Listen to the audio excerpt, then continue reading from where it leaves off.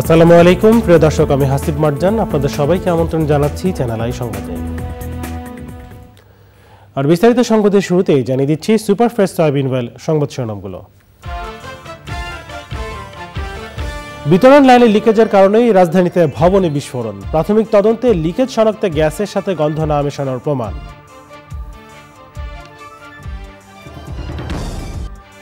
ভূমধ্যসাগর পাড়ি দেওয়ার সময় তিউনিশে উপকূলে নৌকাডুবিতে বিশ জন নিখোঁজ। সাব সাহারা অঞ্চল থেকে ইউরোপ যাওয়ার পথে দুর্ঘটনা।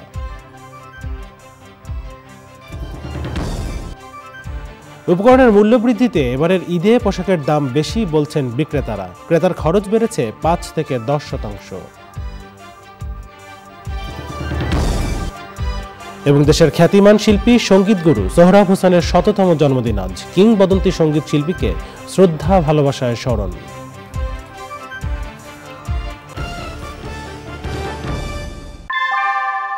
উহ গরমে দাপাদাপি। ঘরের চালের স্থায়ী সমাধান আরও আর সিমেন্ট শিট। সংবাদ শিরোনামগুলো জানাচ্ছিলাম। এখনকার সংবাদ আয়োজন একই সঙ্গে চ্যানেলের ইউটিউব চ্যানেল এবং চ্যানেলের ওটিটি প্ল্যাটফর্ম আই স্ক্রিনে লাইভ স্ট্রিম হচ্ছে। চলে হচ্ছে বিস্তারিত সংবাদে। সম্প্রতি রাজধানীর বেশ কিছু ভবনে বিস্ফোরণে হতাহতের ঘটনা ঘটেছে। পূর্ণাঙ্গ রিপোর্ট না মিললেও প্রাথমিক তদন্তে এসেছে, এগুলো গ্যাসের বিস্ফোরণ। বিতরণ লাইনে লিকেজ মূল কারণ। দুর্ঘটনা এড়াতে লিকেজ শনাক্ত করতে গ্যাসের সাথে যে গন্ধ মেশানোর কথা, সেটা খুব করা হয় না। ভবিষ্যৎ দুর্ঘটনা এড়াতে বিষয়গুলোতে নজর দেওয়ার পরামর্শ দিয়েছেন বিশেষজ্ঞরা।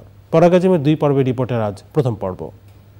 সম্প্রতি পুরান ঢাকার সিদ্দিক বাজারে সাততলা ভবনের বেসমেন্টে ভয়াবহ বিস্ফোরণে ২৬ জন নিহত হন। তিতাস গ্যাসের পরিত্যক্ত লাইনের লিকেজ থেকে বের হওয়া গ্যাস জমেই এই বিস্ফোরণ বলে প্রাথমিক অনুসন্ধানে জানায় ফায়ার সার্ভিস ও পুলিশের সিটিটিসি ইউনিট ওই ঘটনার দুদিন আগে ঢাকার সায়েন্স ল্যাবরেটরি এলাকার একটি ভবনের তৃতীয় তলায় গ্যাস বিস্ফোরণে মারা যান চারজন এর আগে দু হাজার একুশ সালে মগবাজারে চারতলা ভবনের নিচতলায় গ্যাস বিস্ফোরণে বারো জন দু হাজার বিশ সালে নারায়ণগঞ্জের সিদ্ধিরগঞ্জে শীতাতপ নিয়ন্ত্রিত মসজিদের ভেতর গ্যাস বিস্ফোরণ থেকে অগ্নিকাণ্ডে চৌত্রিশ জন পুড়ে মারা যান। এছাড়া গ্যাস বিতরণ লাইন ও চুলাই লিকেজের কারণে বাসাবাড়িতেও দুর্ঘটনা ঘটে। বাসাবাড়িতে গ্যাস লিকেজ হলে মানুষ যাতে বুঝতে পারে, সেজন্য পাইপলাইনের গ্যাসের সাথে দুর্গন্ধ মিশিয়ে দেওয়ার বিধান রয়েছে। তবে এর প্রয়োগ সচরাচর দেখা যায় না। আমার বাসার চুলোতে ওরকম কোনো গন্ধ আসে না। গন্ধ আসলে ভালো হতো, তাহলে লিক টিক থাকলে আমরা সেগুলো মানে আগে থেকে সচেতন হতাম।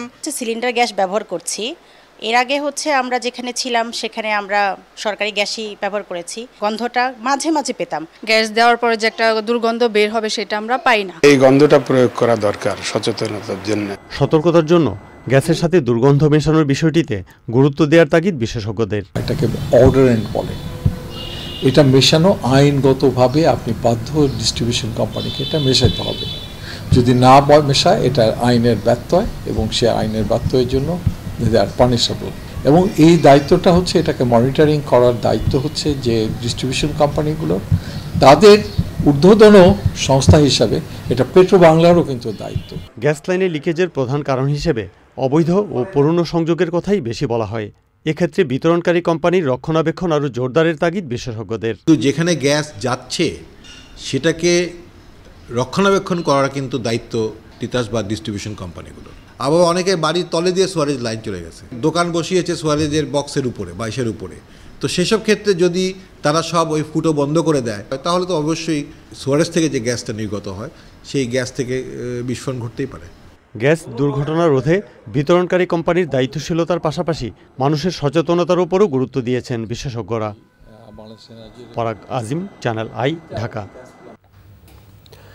ভূমধ্যসাগর পাড়ি দেওয়ার সময় তিউনিশিয়া উপকূলে নৌকা ডুবে বিশ জন অভিবাসন প্রত্যাশী নিখোঁজ হয়েছেন। আফ্রিকার সাব সাহারা অঞ্চল থেকে ইউরোপ যাওয়ার পথে ফ্যাক্স শহরে এ দুর্ঘটনা ঘটে। শুক্রবার বিকেলে নৌকাডুবির পর সতেরো জনকে উদ্ধার করা হয়েছে। তাদের মধ্যে দুজনের অবস্থা আশঙ্কাজনক। নৌকাটি তিউনিশিয়া উপকূল ছেড়ে যাওয়ার সময় মোট আরোহী ছিলেন সাঁত্রিশ জন। তিউনিশিয়ায় গত মার্চ থেকে এ ধরনের কমপক্ষে ছয়টি নৌকাডুবির ঘটনা ঘটেছে। এসব ঘটনায় নিখোঁজ হয়েছেন প্রায় একশো জন মানুষ। ঈদুল ফিতর উপলক্ষে ট্রেনের অগ্রিম টিকিট বিক্রির তৃতীয় দিন আজ। প্রথমবারের মতো এবার শতভাগ টিকিট বিক্রি করা হচ্ছে অনলাইনে। কমলাপুর রেলওয়ে স্টেশনে আছেন মাসুর শাকিল, সরাসরি যাচ্ছি তার কাছে। শাকিল, অনলাইনে টিকিট বিক্রির তৃতীয় দিন আজ। তো এর আগে আপনি দেখাচ্ছিলেন যে স্টেশনে ভিড় নেই। তো এখন কেমন দেখছেন অবস্থা?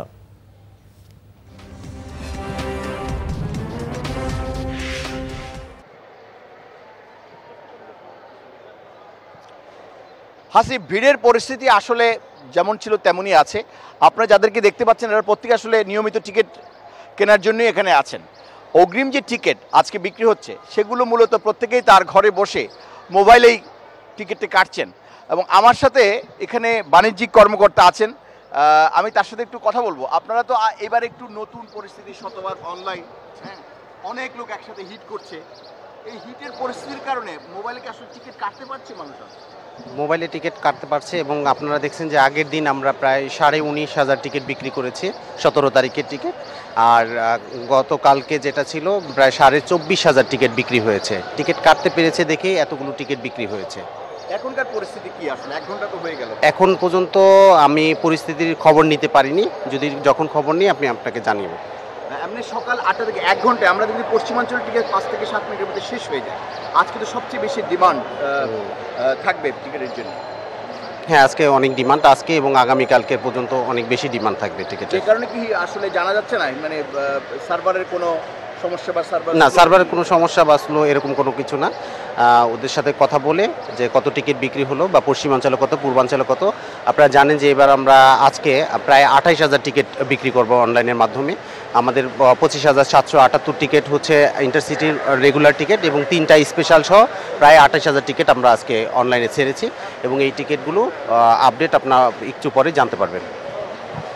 একই সাথে তারা আসলে দু ঘণ্টার মধ্যে, এগারোটার পর যারা টিকিট কেটেছেন আজকে তারা পুরোটাই একটি বোর্ডের মধ্যে তারা টাঙিয়ে দেন কে কোথা থেকে কতটা টিকিট কোথায় যাওয়ার জন্য কেটেছেন। এবং সবচেয়ে মজার বিষয় হলো যে, মানুষ রেজিস্ট্রেশন করার জন্য যারা আছেন প্রান্তিক মানুষ তারাই সেখানে সহযোগিতা নিচ্ছেন যে এনআইডিতে নিবন্ধন শেষ করার জন্য। অনেকে নিবন্ধন করার ক্ষেত্রে কিছু জটিলতা পাচ্ছেন। সেটি হলো যে এনআইডির সাথে নির্বাচন কমিশনের সাথে চেক করে সেটি নিবন্ধন প্রক্রিয়াটি শেষ করতে হয়। তবে ধীরে ধীরে সেটির উন্নয়ন ঘটছে এবং সার্ভারের ক্ষমতা বাড়াচ্ছে বলে রেল কর্তৃপক্ষ জানিয়েছে। শাকিল, আপনাকে ধন্যবাদ। কমলাপুর রেল স্টেশন থেকে আমাদের সাথে যোগ দিয়েছিলেন মাসুর শাকিল। এবারের ঈদ উৎসবে সময় ও বাজেট মাথায় রেখে পোশাক ডিজাইন করেছে দেশি ফ্যাশন হাউসগুলো। সুতির পাশাপাশি সিল্ক অ্যান্টি কটন ও লিনেন কাপড়কে গুরুত্ব দেওয়া হয়েছে। এবছর ঈদ উৎসবে পাঁচ থেকে দশ শতাংশ বেশি দামে পোশাক কিনতে হচ্ছে ক্রেতাদের। বিক্রেতারা বলছেন, সুতা ও রংসহ অন্য কাঁচামালের দাম বাড়তি থাকায় পোশাকের দামও বেশি। আরও জানাচ্ছেন জাকিয়া আক্তার।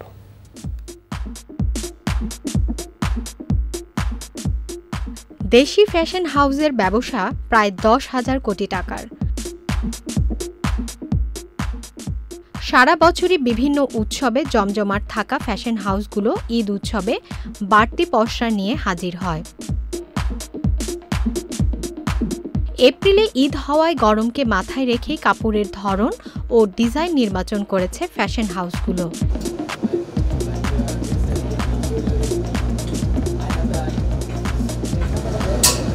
এবছর শাড়ি পাঞ্জাবি ও সালোয়ার কামিজের উপর নরসিংদী সিরাজগঞ্জ ও টাঙ্গাইল থেকে করা জ্যাকার ডিজাইন রয়েছে। এই যে এই কালারটা যেমন দেখছেন মেরুন টাইপের রেডের মধ্যে মেরুন এই কালারটা অনেক ভালো লাগে। দ্রব্যমূল্য অনেক বেড়ে গেছে। এই জন্য আমি মনে করি যে প্রত্যেকেই বাজার কেনাকাটা করতে খুব হিমশিম খেতে হবে। কটনটা তো বিশেষ করে মানে খুবই আরামদায়ক হয়। ড্রেসের দাম তুলনামূলক এবার একটু বেশি। আগে যেখানে তিনটা কিনতাম এখানে এবার দুটা কিনবো। তিন বছর ধরে বাঙালির অন্যতম উৎসব পহেলা বৈশাখ উদযাপন হচ্ছে রমজান মাসে। তাই বৈশাখ ঘিরে আলাদা কেনাকাটা কম হচ্ছে। ক্ষতি পোষাতে ঈদকে প্রাধান্য দিচ্ছে নামি দামি ফ্যাশন হাউসগুলো। সুতির পাশাপাশি সিল্ক অ্যান্টিকটন লিনেন এই ধরনের কাপড়গুলি প্রাধান্য পেয়েছে। পাশাপাশি এই বছর আমরা সুতি কাপড়ে বা সিল্ক কাপড়ে অনেক ধরনের জ্যাকেট ডিজাইন করেছি। যে বৈশাখের অনুষ্ঠানগুলির সাথে কিন্তু এই পোশাক বিক্রির একটা সম্পর্ক থাকে। টোয়েন্টি পার্সেন্টের কাছাকাছি ছিল বৈশাখের বিক্রি। সেটা কিন্তু ওই টোয়েন্টি পার্সেন্ট বিক্রিটা কিন্তু কমে এখন হয়তো বা ফাইভ পার্সেন্টে চলে এসেছে। এবছর এমব্রয়ডারির কাজ সহ হালকা ডিজাইনে গুরুত্ব দেওয়া হচ্ছে। ক্রেতাদের ক্রয় ক্ষমতার কথা বিবেচনা নিয়ে কম বাজেটে বৈচিত্র্যময় পোশাকের কালেকশনও থাকছে এবার। কাপড়ের উপর বেশি জোর দিয়ে আমরা হয়তো বা অন্যান্য যে আনুষঙ্গিক যে মাধ্যমগুলি আমরা ব্যবহার করি, সেগুলো কমিয়ে আমরা ডিজাইনগুলি করেছি। ফলে পোশাকগুলি হয়তো বা ক্রেতাদের নাগালের মধ্যে থাকবে। কিছু ক্ষেত্রে আরেকটু কম, কিছু ক্ষেত্রে বেশি। তবে পাঁচ থেকে দশ পার্সেন্টের মতো মূল্য বেড়েছে। ঈদ কেনাকাটায় ক্রেতাদের স্বাদ ও সাধ্যের সমন্বয় করে পোশাক তৈরির মাধ্যমেই ভালো ব্যবসা করার আশা করছে দেশি fashion হাউসগুলো। Zakia Akter channel I, Dhaka. বাংলাদেশের নজরুল সংগীত ও শাস্ত্রীয় সঙ্গীতের খ্যাতিমান শিল্পী, সংগীত গুরু সোহরাব হোসেনের শততম জন্মদিন আজ। উনিশশো বাইশ সালের নয় এপ্রিল ভারতের পশ্চিমবঙ্গের নদিয়া জেলায় জন্ম নেওয়া সোহরাব হোসেন পাঁচ দশকের বেশি সময় ধরে সঙ্গীতের বিভিন্ন শাখায় বিচরণ করেছেন।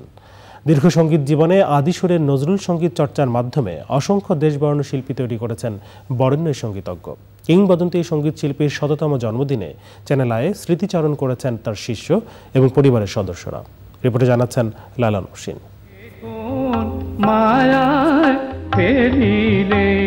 আমায়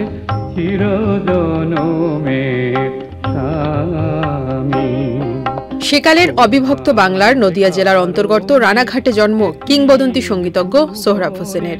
সেই শৈশব থেকেই কিংবদন্তি সব সংগীত সাধকের সান্নিধ্যে বেড়ে উঠে দেশভাগের পর আসেন বাংলাদেশে। উনিশশো সালে ঢাকায় এসে মন প্রাণ দিয়ে জড়িয়ে পড়েন নজরুল সংগীত সাধনায়।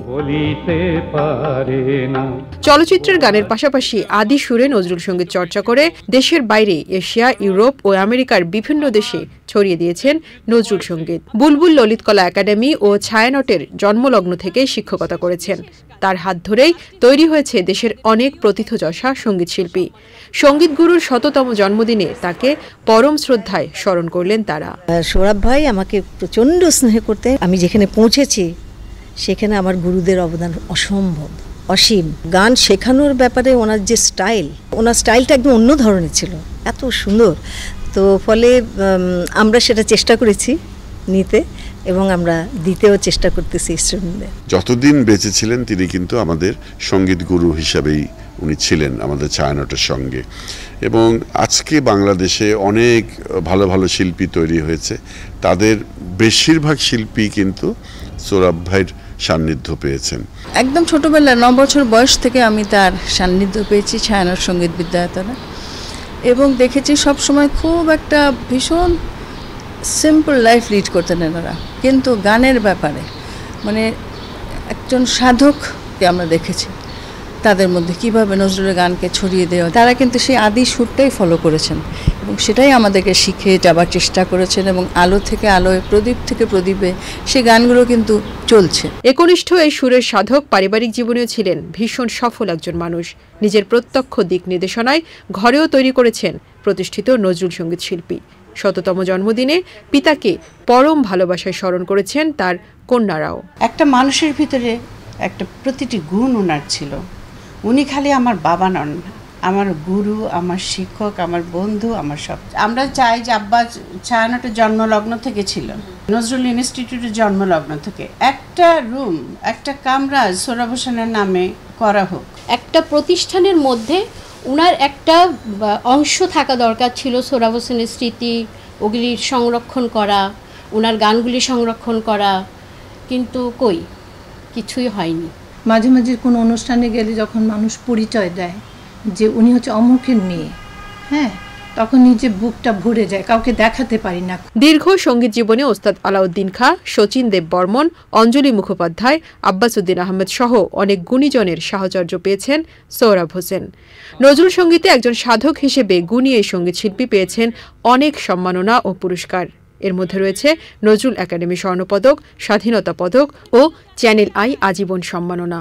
অসুস্থতার কারণে দু হাজার বারো সালে একানব্বই বছর বয়সে চিরবিদায় নেন কিংবদন্তি এই সংগীত শিল্পী চ্যানেল আই পরিবারের সাথে তার ছিল নিবিড় সম্পর্ক। শততম জন্মদিনে তাকে শ্রদ্ধায় ভালোবাসায় স্মরণ করছে চ্যানেল আই প্রচার করছে বিশেষ অনুষ্ঠান। Laila Nowshin channel I Dhaka. দেখছেন চ্যানেলের সংবাদ, এ পর্যায়ে নিয়ে নিচ্ছি বিরতি। আর বিরতির পর অন্যান্য সংবাদের সঙ্গে খেলার খবরে জানি চ্যানেল আই সংবাদে। জানাব নিটল টাটা কৃষি সংবাদ।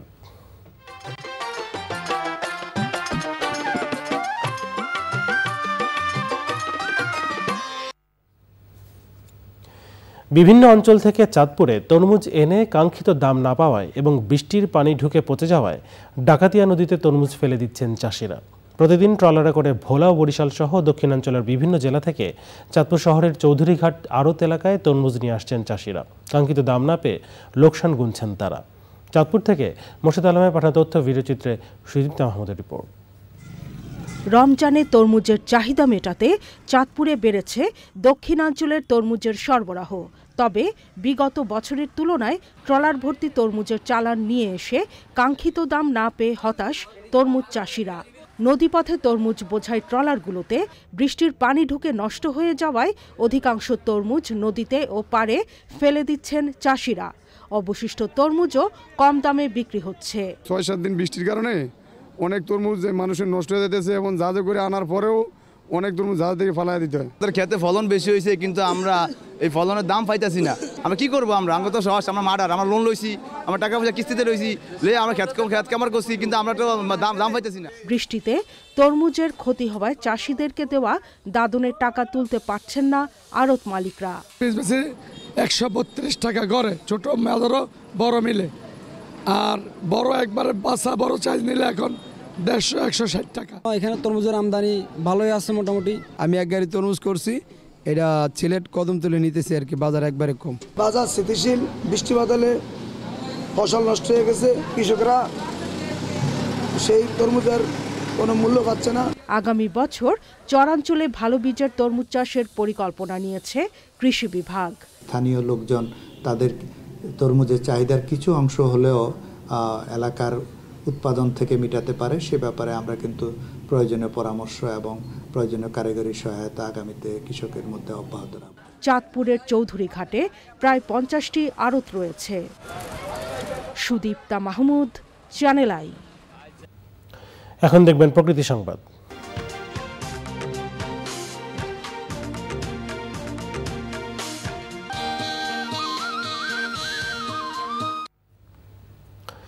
উনিশশো ছেষট্টি সালে বঙ্গবন্ধু শেখ মুজিবুর রহমানের ঐতিহাসিক ছয় দফা দাবি স্মরণীয় করে রাখতে মেহেরপুরে মুজিবনগর মুক্তিযুদ্ধ স্মৃতি কমপ্লেক্সে গড়ে তোলা হয়েছে ছয় স্তরে ছয় রঙের গোলাপ বাগান। বাগানটি এখন ফুলে ফুলে ভরে উঠেছে। পর্ণমুগ্ধকর গোলাপ বাগান দেখতে প্রতিদিনই বাড়ছে দর্শক। মেহেরপুর থেকে রিপোর্ট করছেন গোলাম মোস্তফা। স্বাধীনতার সূতিকাগার ঐতিহাসিক মুজিবনগর মুক্তিযুদ্ধ স্মৃতি কমপ্লেক্সের আওতায় উনিশশো নিরানব্বই থেকে দু হাজার অর্থ বছরে ছয় স্তর বিশিষ্ট গোলাপবাগান গড়ে তোলার কাজ শুরু হয়। দু হাজার তিন সালে শেষ হয় এর কাজ। বর্তমানে বাগানটিতে শোভা পাচ্ছে সাদা superstar queen Elizabeth Kings ransom মিলান্ডি ও তাজমহল জাতের গাছ। শুধু যে গোলাপ দেখতে আসবে তা নয় এখানে যে একটা ইতিহাস আছে সেই ইতিহাসটাকেও স্মরণ করবে বঙ্গবন্ধু যে ছয় দফা যার ভিত্তিতে আজকের আমরা এই স্বাধীনতা অর্জন করেছি। সবকিছুই ভালো লাগে সবচেয়ে এই যে গোলাপ বাগানটা গোলাপ বাগানটা সত্যি আকর্ষণীয় এবং আকৃষ্ট করার মতো একটা জায়গা। এবং এই ঐতিহ্যটাকে আমরা যাতে ধরে রাখতে পারি এবং আমাদের ভবিষ্যৎ প্রজন্মকে যাতে আমরা ধরে রাখতে পারি এবং আমাদের সেই জন্য আমাদের মাঝে মাঝে আমাদের সেই সন্তানদের এখানে নিয়ে আসি।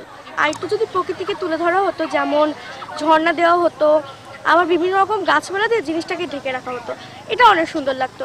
আলো ও পানি ব্যবস্থা সংস্কারের মাধ্যমে বাগান উন্নত করা সহ আরও দৃষ্টিনন্দন করার দাবি জানিয়েছে দর্শনার্থীরা। এখানে দেখলাম জানলাম অনেক কিছু দেখলাম ইতিহাসে। কিন্তু এরই একটা অংশ এই ফুল বাগান এই গোলাপ বাগান। ছয় দফার মধ্যে আমাদের ছয়টা কালারের গোলাপ আছে। এই গোলাপগুলো অসাধারণভাবে ফুটে উঠেছে। দর্শকরা এখানে ভিড় জমাচ্ছে। আমি কর্তৃপক্ষের কাছে এটাই জানাব এইগুলোকে ধরে রাখার জন্য। বর্তমানে ছয় জাতের দুই হাজার দুইশো গোলাপ রয়েছে এই বাগানে। এখানে আমাদের সার কীটনাশক ও বিভিন্ন প্রয়োগের মাধ্যমে গোলাপ বাগানটি খুবই শোভনীয় হয়ে উঠেছে। সারা দেশের প্রচুর দর্শনার্থী এখানে দেখতে আসেন। মেহেরপুর থেকে গোলাম মোস্তফা চ্যানেল আই। জানাব খেলার খবর।